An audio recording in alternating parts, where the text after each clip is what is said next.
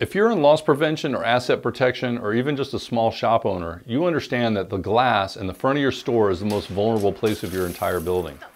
Bad guys, burglars can come anytime and smash that glass and get in and out before police arrive.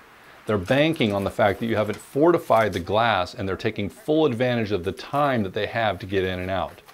Riot Glass changes everything.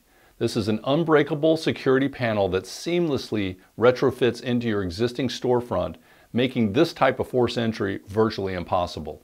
It's been laboratory tested to sustain vicious and prolonged attacks with heavy tools like sledgehammers. Call the number on your screen or click the link below to learn more. Thanks for watching.